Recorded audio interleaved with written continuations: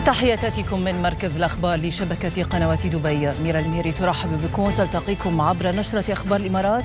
أهلا بكم. محمد بن راشد يترأس الاجتماع الأول لمؤسسة مبادرات. محمد بن راشد المكتوم العالمية ويوجه بالبدء الفوري بإعداد خطة للوصول إلى 130 مليون إنسان خلال عشر سنوات.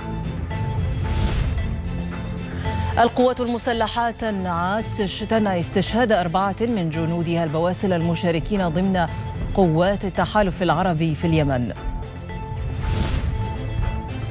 وتحت ضربات المقاومة والتحالف العربي فرار جماعي لميليشيات الحوثيين وقوة المخلوع صالح من آخر معاقلهم في مارب.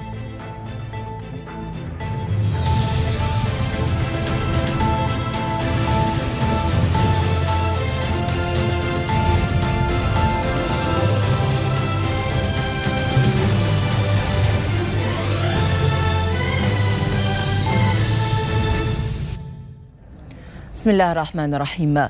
بعث صاحب السمو الشيخ خليفة بن زايد آل نهيان رئيس الدولة حفظه الله.